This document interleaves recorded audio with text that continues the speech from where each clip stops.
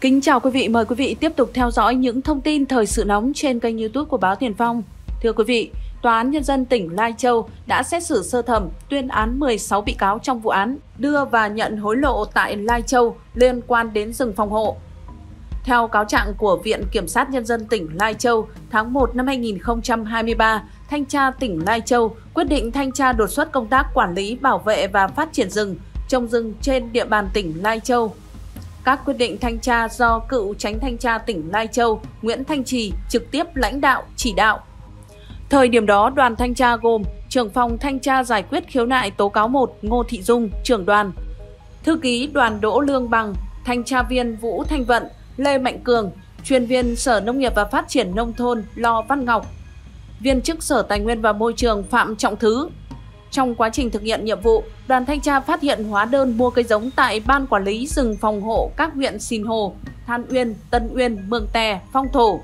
Tam Đường, Nậm Nhùn có sự tranh lệch lớn so với hóa đơn mua vào của các đơn vị cung ứng.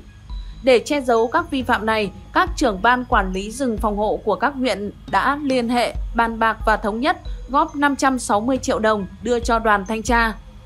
Các bị can cử người đại diện đưa cho tránh thanh tra tỉnh Lai Châu Nguyễn Thanh Trì 300 triệu đồng tại nhà riêng và đưa cho Đỗ Lương Bằng, thư ký đoàn thanh tra 260 triệu đồng. Sau đó, Bằng và Dung, trưởng đoàn thanh tra, thống nhất việc chia tiền cho các thành viên trong đoàn thanh tra là Lê Mạnh Cường, Vũ Thanh Vận, Lò Văn Ngọc, Phạm Trọng Thứ, mỗi người 25 triệu đồng. Còn lại Dung và Bằng mỗi người lấy 80 triệu đồng. Đến ngày 23 tháng 3 năm 2023, bị can Nguyễn Duy Hoan, nguyên trưởng ban quản lý rừng phòng hộ Sinh Hồ, viết đơn tự thú về hành vi đưa hối lộ, nhận hối lộ của mình và các đồng phạm. Ngày 28-29 tháng 3 năm 2023, lần lượt các bị can Mạch Thọ Quyết, Vũ Văn Vận, Phạm Trọng Thứ, Tống Văn Hoàn, Đỗ Lương Bằng, Lê Mạnh Cường, Lưu Anh Võ, Nguyễn Ngọc Chỉnh đến cơ quan điều tra đầu thú và khai nhận hành vi phạm tội của mình và đồng phạm. Các bị can còn lại lần lượt bị triệu tập và bắt giữ sau đó. Tại phiên tòa, sau khi xem xét các tình tiết giảm nhẹ, tăng nặng trách nhiệm hình sự, Tòa án Nhân dân tỉnh Lai Châu tuyên án 7 bị cáo về tội nhận hối lộ theo quy định tại Điều 354 Bộ Luật Hình sự gồm Bị cáo Nguyễn Thanh Trì, cựu tránh thanh tra tỉnh Lai Châu, 2 năm 6 tháng tù. Ngô Thị Dung, cựu trưởng phòng 1 thuộc thanh tra tỉnh Lai Châu, 7 năm 3 tháng tù. Đỗ Lương Bằng, cựu cán bộ thanh tra tỉnh Lai Châu, 7 năm tù. Lò Văn Ngọc, cán bộ Sở Tài nguyên và Môi trường tỉnh Lai Châu, 1 năm tù treo. Lê Mạnh Cường, cán bộ thanh tra tỉnh Lai Châu, 1 năm tù treo. Phạm Trọng Thứ, cán bộ Sở Nông nghiệp và Phát triển Nông thôn, 1 năm tù treo. Vũ Thanh Vận, cán bộ thanh tra tỉnh Lai Châu, 1 năm tù treo. 9 bị cáo cùng phạm tội đưa hối lộ là các cựu trưởng ban quản lý rừng phòng hộ trên địa bàn tỉnh Lai Châu. Trong đó có bị cáo Mai Hồng Hạnh, cựu trưởng ban huyện Tân Nguyên và Tống Văn Hoàn, cựu trưởng ban huyện Mường Tè cùng nhận 2 năm 6 tháng tù. Mạch Thọ Quyết, cựu trưởng ban huyện Tam Đường và Nguyễn Văn Hồng, cựu trưởng ban huyện Nậm Nhùn cùng nhận 2 năm 3 tháng tù. Các bị cáo Nguyễn Duy Hoan, cựu trưởng ban huyện Sinh Hồ, Lò Thanh Tùng, cựu trưởng ban huyện Than Nguyên và Nguyễn Văn Tuyển, cựu trưởng ban huyện Phong Thổ cùng nhận 2 năm tù. Hai bị cáo Lưu Anh Võ và Nguyễn Ngọc Chỉnh cùng là cựu trưởng ban huyện Sinh Hồ cùng nhận 1 năm 6 tháng tù được hưởng án treo. Các bị cáo còn chịu hình phạt bổ sung là phạt tiền và cấm đảm nhiệm chức vụ, hành nghề.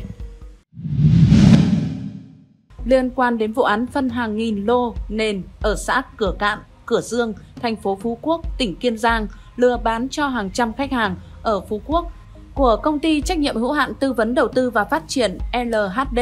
Chủ tịch Ủy ban nhân dân xã Cửa Dương Trần Văn Việt đã ra tự thú Công an thành phố Phú Quốc đang tiếp tục điều tra những thông tin liên quan đến ông Việt và xử lý theo đúng quy định của pháp luật.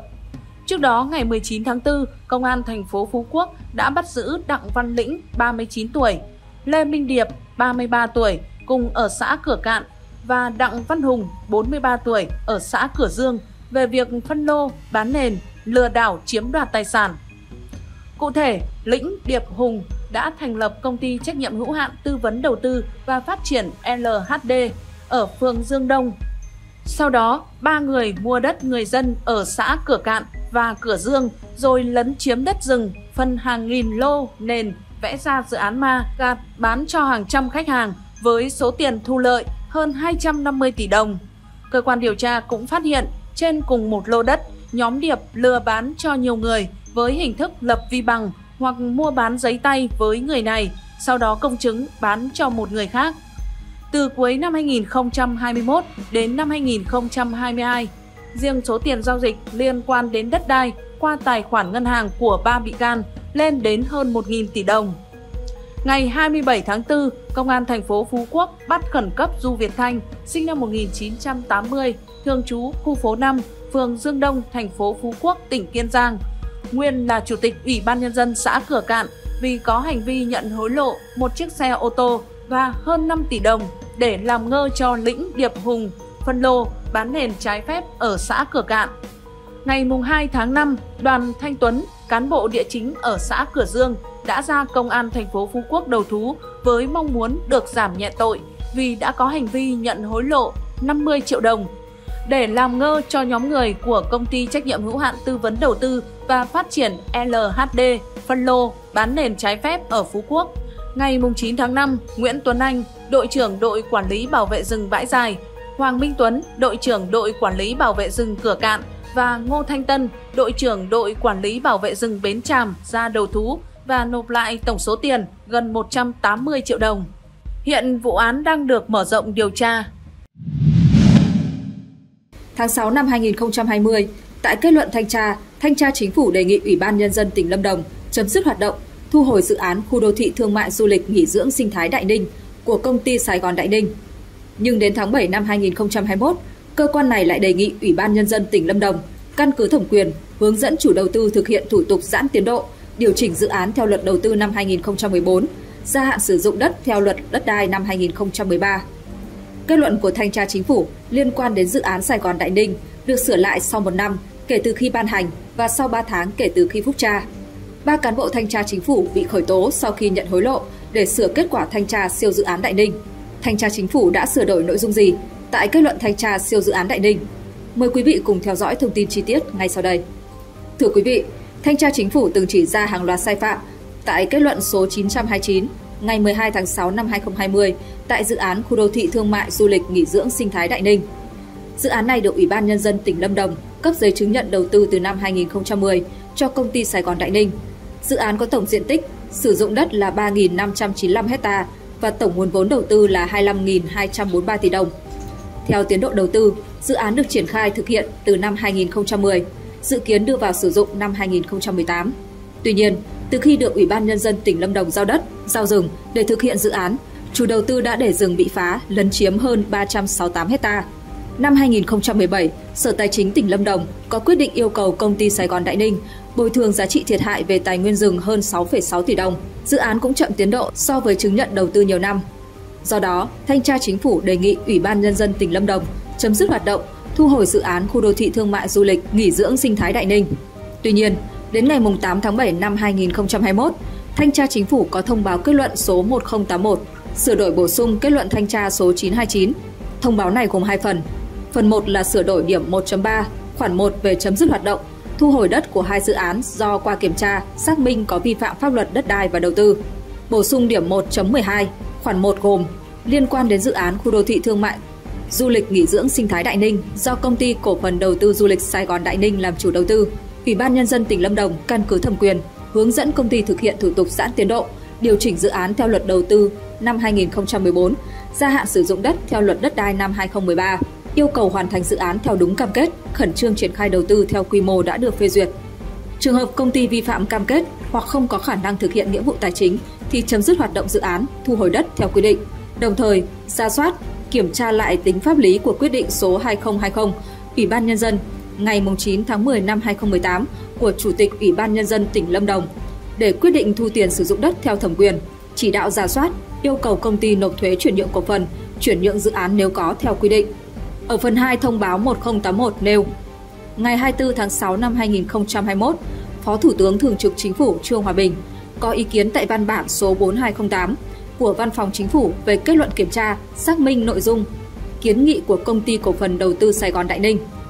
Theo đó, đồng ý kiến nghị của thanh tra chính phủ tại văn bản số 715 ngày 10 tháng 5 năm 2021 về kết quả kiểm tra, xác minh, giải quyết kiến nghị của công ty cổ phần đầu tư du lịch Sài Gòn Đại Ninh. Ủy ban nhân dân tỉnh Lâm Đồng theo thẩm quyền chỉ đạo thực hiện kiến nghị của thanh tra chính phủ theo đúng các quy định của pháp luật. Thanh tra chính phủ chịu trách nhiệm về nội dung và kiến nghị tại văn bản nêu trên,